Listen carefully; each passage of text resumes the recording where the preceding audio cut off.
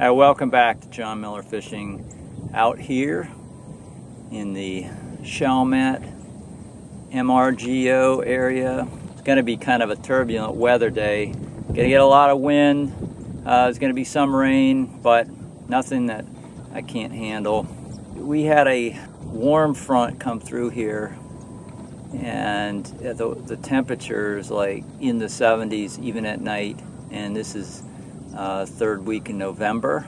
Crazy warm. And uh, I mean, I just came from the north where I, had, I drove down through uh, ice and snow. Now I, now I am down here on the Gulf Coast and it's in the 70s. I'm gonna have to work a lot of areas today because uh, I expect them not to be in the typical uh, sort of winter pattern because the water got so warm. The water temperature is 63 degrees which you know it's come up a little bit in the last couple days so it's it's it's it's been a change a shift that is going to affect the trout. So I'm going to be looking far and wide today to try to find them but I've got all day. It's just me in the boat. Very relaxing day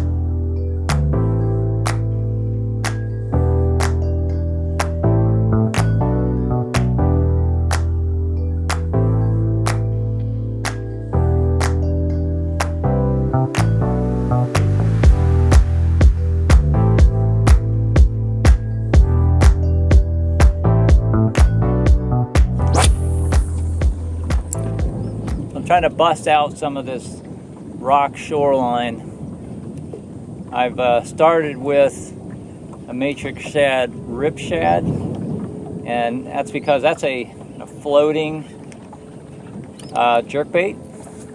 So it's a pretty shallow running bait, and uh, it'll it'll float up. So I'm real comfortable fishing this right up against the rocks because I'm not going to get snagged, and I want to see whether the trout because it's it's been warmer whether they're right up basically in the rocks or very shallow.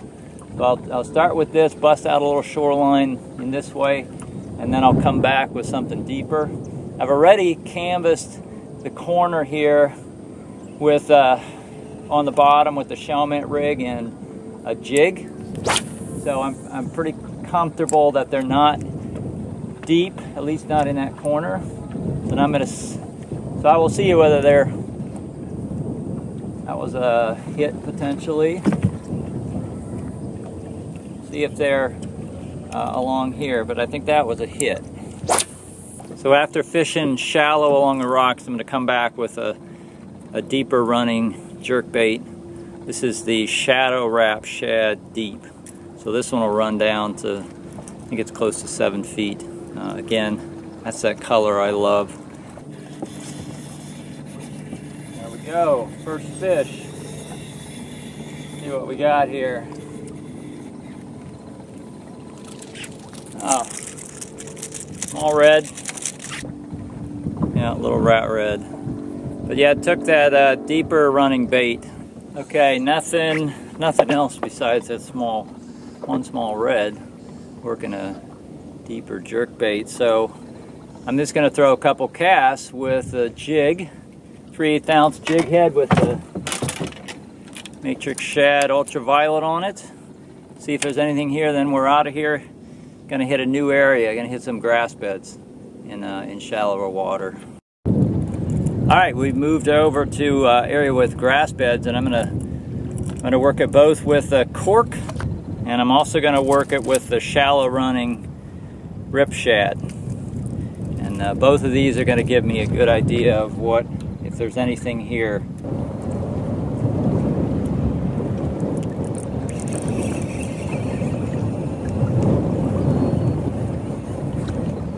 Yeah, I caught a fish, but it's bass. Small bass. So again, uh, nothing on the cork and swim bait, but uh, I've switched over now to this is the matrix shad, rip shad, which is a shallow running jerk bait floating. So it's really good for fishing over grass, which is what I got in this situation. So, and I can also work it fast, which I It's one big reason to fish this type of bait. When you want to canvas an area, not sure whether there's anything here.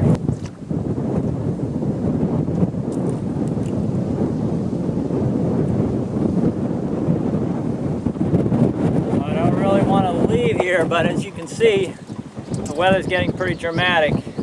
So I'm going to go south, of get away from this weather. Uh, I don't think it's going to get me if I go far enough south. So I'm out of here.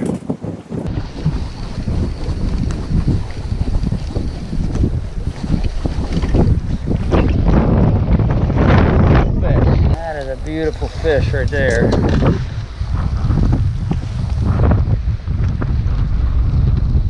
Look at that. The fat boy. Just working it slow, you know, well that's how I fish a flat boy, fat boy, but just blasting down this rock shoreline in this incredible wind. And there it is, beautiful fish.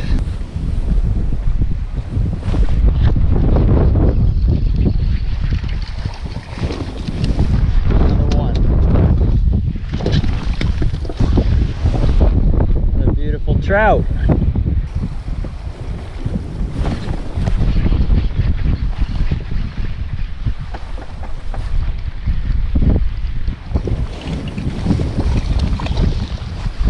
Great bass.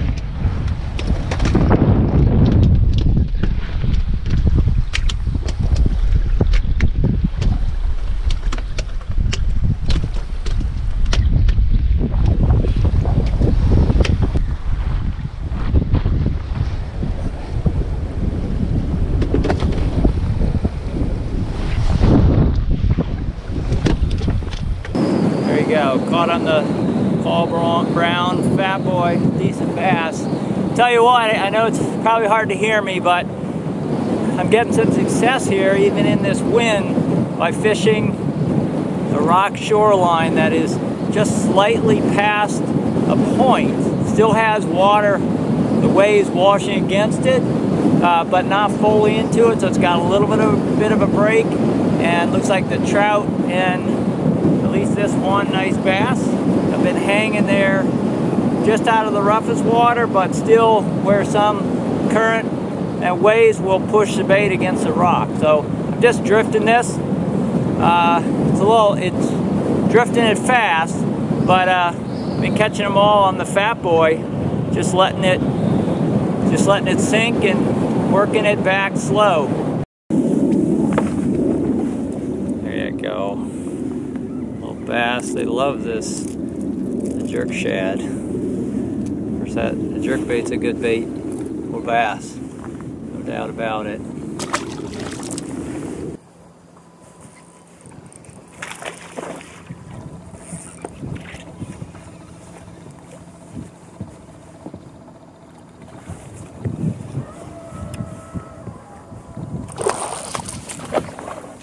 It's a nice redfish.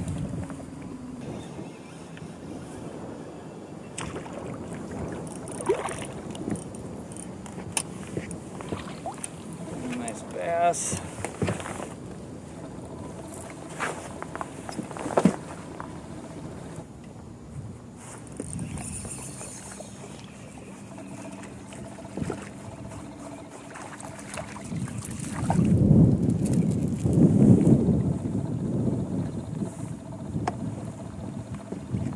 Look at that.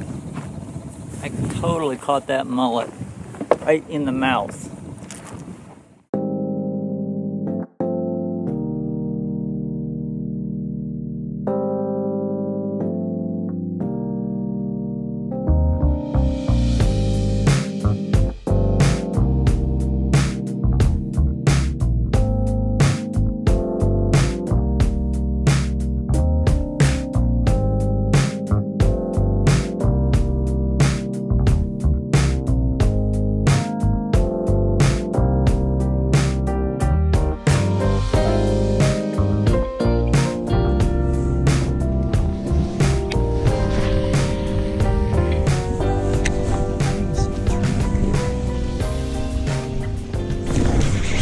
Oh yeah. Yeah. That's a trout.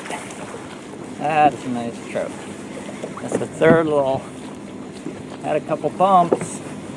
Figured something was going on here. And this is a nice trout. Whoa. Wow. That's a beautiful trout right there.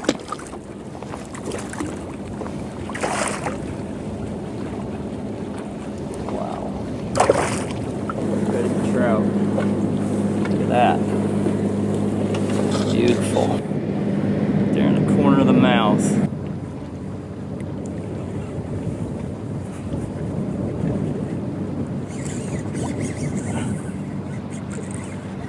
Guess that would not be a trout.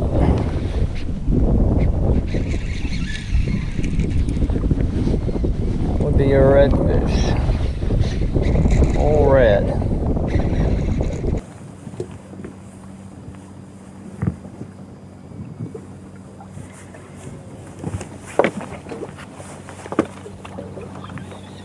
Ah, come on.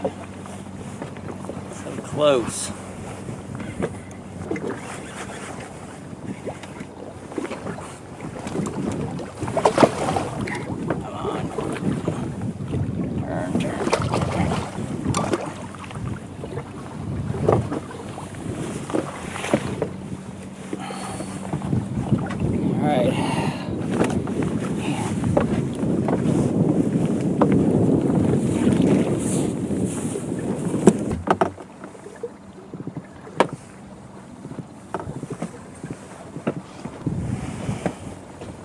go. Massive one. Off you go. Always more of a challenge doing that by yourself.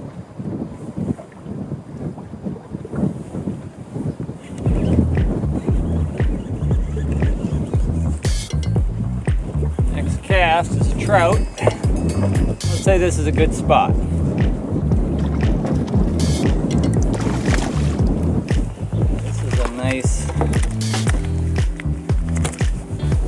Nice fat 14 or 13 and a half incher. Swallowed that matrix shad. I found one of the reasons the fish are here. Just got snagged on a rock. Uh, it just looks like a singular rock down here. Over the next couple videos, I'm going to be talking about the effects of water temperature on deep water fishing like I'm doing here in the MRGO. Or it can be other channels, deep channels like the Intercoastal or uh, rivers or wherever that may be. But water temperature has a big impact on whether the fish are going to be in that spot or not.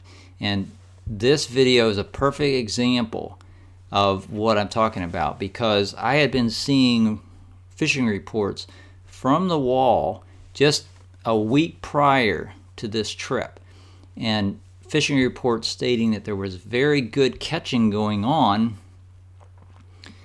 but of course as you can see in this video there were no trout in the immediate wall area and I while I did find some trout farther down the MRGO uh, they were not real plentiful along the rocks uh, in, in that deep water. And I'm really the, I'm quite certain that the water temperature, that 63 degree water temperature, was the reason that they weren't there. And so over the next couple videos, you'll see where I go back. Um, I do more fishing at the MRGO and other places with some deep water. And you'll see as the water temperature gets lower, the fishing success gets much higher. Hey, so if you like this video, give it a thumbs up. And if you haven't subscribed to my channel, I would appreciate if you would hit that subscribe button. And uh, I will definitely get back with you soon on another video centered on this deep water fishing.